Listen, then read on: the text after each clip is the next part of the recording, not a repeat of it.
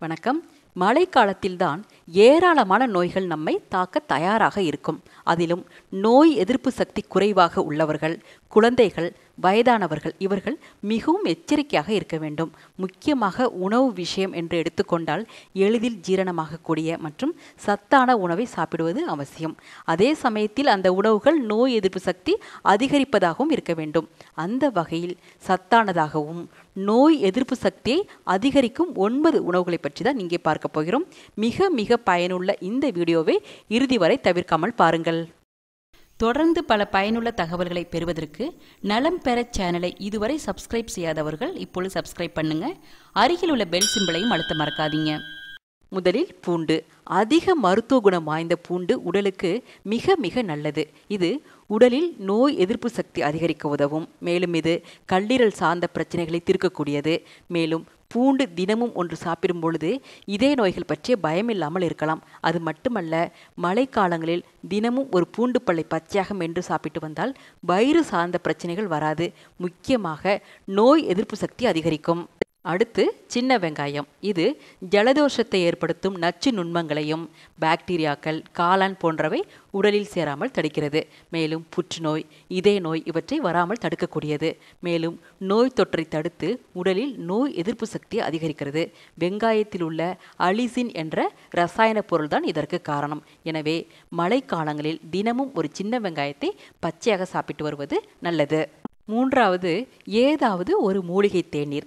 மழைக்காலங்களில் தினமும் ஒரு கப் பால் சேர்க்காத மூலிகை தேநீர் குடிப்பது நல்லது. இதனால் மூலிகைகளில் உள்ள மருத்துவ குணங்களால் உடலில் நோய் எதிர்ப்பு சக்தி அதிகரிக்கும். அதாவது இஞ்சி டீ எலுமிச்சை டீ புதினா டீ என்று ஏதேனும் ஒன்றை ஒரு நாளைக்கு ஒரு முறையாவது குடித்து வருவது நோய் எதிர்ப்பு சக்தி அதிகரிக்கும்.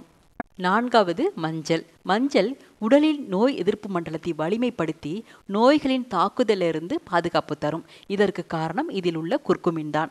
எனவே இந்த மஞ்சளை அனைத்து உணவிலும் சேர்ப்பதோடு தினமும் இரவில் சூடான பாலுடன் அல்லது வெந்நீரில் கலந்து குடித்து வருவது நோய் எதிர்ப்பு சக்தி அதிகரிக்கும். ஐந்து ஒமேகா த்ரீ கொழுப்பு அமிலங்கள் கொண்ட உணவுகள். குளிர்காலங்களில் சாப்பிட வேண்டிய உணவுகளில் ஒமேகா த்ரீ கொழுப்பு அமிலங்கள் கொண்ட உணவுகளை சாப்பிடுவது மிகவும் நல்லது. அந்த வகையில் மீன்களில் அதிக அளவில் ஒமேகா த்ரீ கொழுப்பு அமிலங்கள் உள்ளதால் கடல் மீன்களை சாப்பிடுவது நல்லது. அதே சமயத்தில் மீன்களில் பழைய ஸ்டாக் இருக்க வாய்ப்பு இருப்பதால் கவனமாக பார்த்து வாங்க வேண்டும். ஆறாவது சிட்ரஸ் பழங்கள்.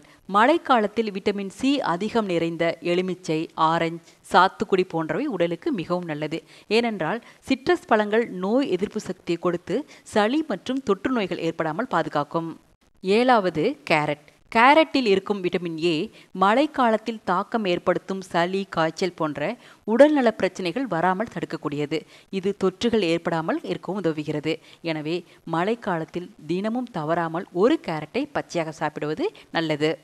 அடுத்து கிரீன் டீ கிரீன் டீயில் ஆன்டி ஆக்சிடென்ட்ஸ் அதிகம் உள்ளதால் பாக்டீரியா தாக்கம் அதிகரிக்காமல் உடலை பாதுகாக்க உதவும். எனவே தினமும் ரெண்டு அல்லது மூன்று முறை கிரீன் டீ பருகுவது உடலுக்கு நல்லது. மேலும் சளி காய்ச்சல் ஏற்படாமல் நம்மை பாதுகாக்கும் திறன் கொண்டது இந்த கிரீன் டீ ஒன்பது தேன். மழைக்காலத்தில் சளி காய்ச்சல் பிரச்சனைகள் வராமல் தடுக்கும் எளிய உணவு தேன். இதில் இருக்கும் ஆன்டி பாக்டீரியா குணம் வைரஸ் மற்றும் பாக்டீரியாக்களை எதிர்த்து போராடுகிறது. எனவே தினமும் இரவு தூங்க போவதற்கு முன்பு தேனை பாலில் கலந்து சாப்பிட்டு வந்தால் உடலுக்கு நல்ல வலிமை கிடைக்கும். பொதுவாக இரவு தூங்குவதற்கு முன் பாலில் மஞ்சள் தூள் மிளகுத்தூள் பனங்கற்கண்டு சேர்த்து குடிப்பது நல்லது.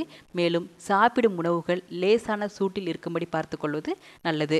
உணவு பதார்த்தங்களில் மிளகு பொடியை சேர்த்து சமைத்து சாப்பிடுவது நோய் எதிர்ப்பு சக்தியை கொடுக்கும். முக்கியமாக பொரித்த எண்ணெயில் பொரித்த வறுத்த உணவுகளை அறவே சாப்பிடக்கூடாது. எனவே இங்கே சொன்ன மாதிரியான உணவுகளை நமது உணவுகளில் இருக்கும்படி பார்த்து கொண்டாலே மழைக்கால நோய்கள் பற்றி பயமே தேவையில்லை. நீங்களும் கடைபிடித்து பாருங்கள். இந்த வீடியோ உங்களுக்கு பயனுள்ளதாக இருந்தால் லைக் பண்ணுங்க உங்கள் நண்பர்களுக்கும் ஷேர் பண்ணுங்க. இது போன்ற பயனுள்ள பல தகவல்கள் உங்களை வந்தடைய.